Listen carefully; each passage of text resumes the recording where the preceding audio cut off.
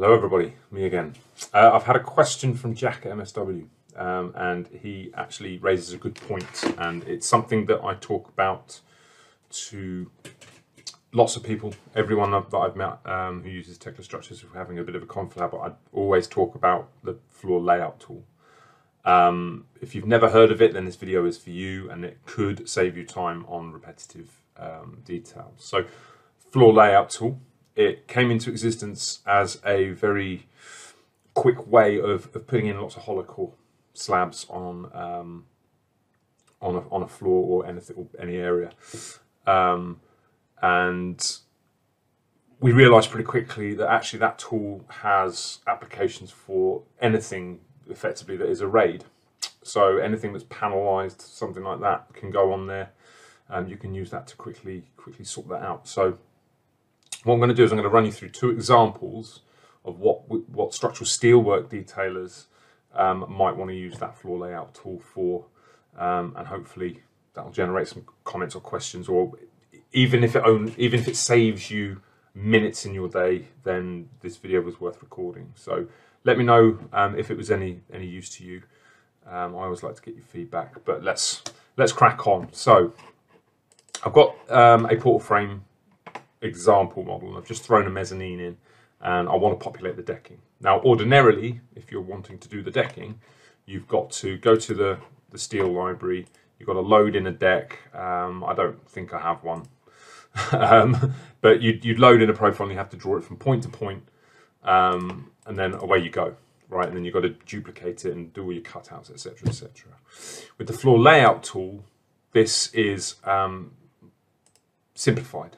Okay, so if I bring up the floor layout tool here, I'll, I'll walk you through the component itself. So you can see, let me load the standard, and we've got slabs. Okay, so to draw those in, all I've got to do is draw the perimeter of the of, of the area and then complete it, and then I get core slabs. Okay, and and what you can actually do with this is you can see that we've got some we've got some slabs arrayed here.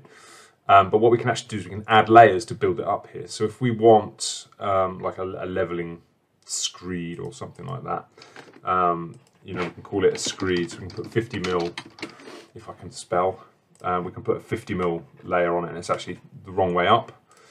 Um, so let's do it, let's do it that way up. And we need to move that layer up a bit.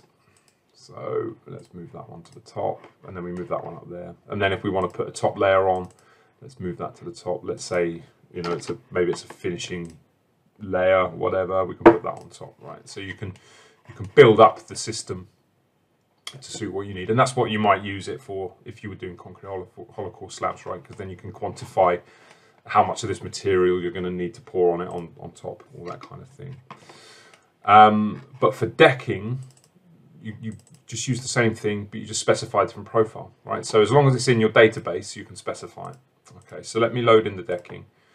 Um, and I'm going to be using a RibDeck 80 profile here, but effectively it just needs to be in your database and then you can specify it in here. Okay, so I've got a single layer because I don't want any built up layers on it. I'm just going to put the decking in. Um, and I've gone through and I've taken care to put the name in, reference to the, the, the, the profile. Um, I'm also specifying the, the part name, so the part name is going to be deck sheet and specify the class and finish and also um, the part prefix, which is useful. You'll notice there I put it as PK1. That that will help you to to do packs of decking. Um, so if you draw each pack individually as an area, then you can use the lotting and things like that to, to differentiate differentiate those and order them as packs. Okay, so it just helps with your sequencing. Um, under, under general, this default gap width, you'll see that in a minute, but that is effectively an overlap. So with decking, you, you, you know, it, it sits like this, or it overlaps. What this tool will do is it will line it up to the edges of the profile, but you need to specify that gap to do the offset so that you've got your, your, your overlap, but we'll see that in a minute. Um, and then, you know, this, this is, these controls are about um, offsets and cuts and things like that. And, and generally speaking, I don't go into these too much. Um, it's more pertinent for the if you're doing concrete to have um, voids and cutouts and access and all that sort of thing. But for decking, there's, there's other ways of, of managing this. Okay, so we've specified that now and let's draw it in. So the first principle with this is that the first two points you pick dictate the span. Okay, So if I go from these two, these these pre-created points, if I go from that point to this second point, you'll see that I'm starting to get an indication of the span of the sheet. Okay, if I was picking the two points in the other axis, obviously they'd be spanning in the other direction. But all I've got to do is pick those four those four setting out points and then click middle button and then it arrays my decking. Okay, so that overlap that I was talking about is is that there. Okay, so I've I, think it was about 16 and a half millimeters. Um, that's just allowed all of those sheets to offset so that I know that they're going to lap properly. Okay, um, and that's true for all the sheets actually. So if I span across here, you'll see there's a lap there, there's another lap here. Um, once you've got sort of the, the bones of the thing in, you'll notice that you know it, it's penetrating the columns and things like that. Um, and you can take care of that. So let's let's zoom into there. Um, and this is another tool which which not a lot many not a lot of people know about, but it is very useful. Um, it's it's the one that I had highlighted when I started this. It's called hole hole generation. So you can create holes around parts. Okay, so let me show you what that does. So if I activate that, pick the decking and then pick the column. Whoops, that was the wrong part. Let's try that again. Pick the decking, then the column. You can see it's created a cutout around that column. Okay, so by default, it's trying to cut the profile. But if you don't want it to cut the profile, you just want it to cut square, you can change that in here. So let's set that to to there, and let's say that's 30 mil off and 30 mil off.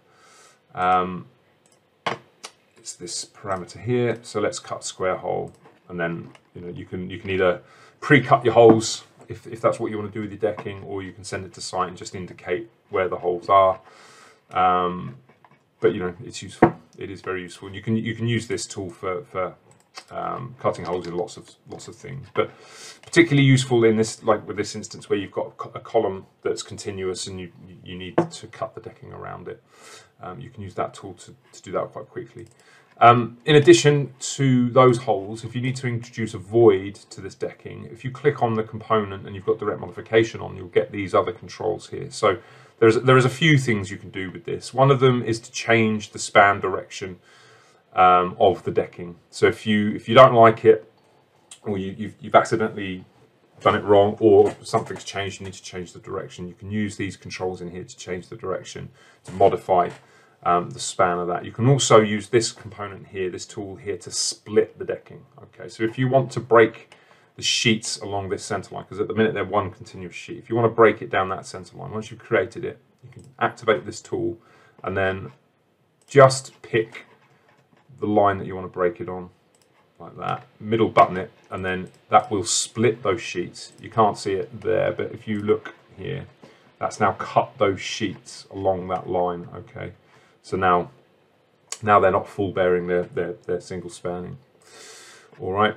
Um, but the whole the, the, thing that i'm building up to here is um, for voids. Okay so you've got these two controls here but this one is is going to be sort of the one you go to i guess um, a new rectangular opening. So I don't have an example sort of void here, but I'll just pick any points just to show you the principle. So if I pick that tool now and then pick two points representative of the void, it's going to cut a hole in that sheet for me. Okay, and then I can do the same thing here. I can do the same thing up here. Okay, so very, very quick way to introduce voids into um, into your structure. It, it is going to cut the full sheet. Okay, I'm just going to mention that to you. So you, if, if there's a sort of a trimmer here, for example, you'll need to put a flashing or something like that in manually. But the point of this tool is, is or the point of the application of this tool for this example is to, to speed up the arraying of, of that decking so that you're not spending time having to do that. You can concentrate on putting those details in. All right. Um, this tool also works very well for cladding. So let me show you an example of, of how we might use that use it for that. So let's go back to the floor layout tool. Um, and this time um, I do, again, I have a, a predefined um, setup for that as well. Um, I'm going to use Optimo, 6, uh, Optimo 60s here, uh, K600 range. Um, again, I've set all of that up um, and you'll see that in the under the general for the overlap, again, I've, I've, set that overlap and we'll look at that again. but principally, I'm just going to OK that and then I'm going to go into the model. I'm going to start drawing it. So I'm going to just quickly array it over there. So I'm going to pick that corner of the side rail. I'm going to pick that corner of the eaves beam. I've got an apex point, and then I'm going to pick that bit and that point there. And I'm not going to worry about penetration so I'm just going to put that elevation on. Okay so I've got you can see I've got cladding sheets there on my elevation. Let's go back to the 3d and let's spin that around. Let's have a look. So it looks like it's facing the right way to me. Um, any cladding aficionados might not agree but it looks it looks okay to me. You can see there the overlap so it slots together. Let me let me demonstrate how that works. So let's change that to minus well let's zero it. Let's zero it and you'll see what I mean. So those sheets will line up to the edges like that, okay, which is clearly no good for calculating how many how many sheets you need on your elevation because you know that's gonna that's gonna that's gonna accumulate and affect the calculation. So you do your overlap to make sure that they're slotted in and that the overlap is is correct. Okay. So we've got that. You can see that the, the sheets are being cut at the top. Um, and we've also got these direct modification controls as well, right? So with the direct modification, if we've made a mistake um, or we want to alter it, we can just grab a point and introduce a new point. Okay, so let me show you with this door here.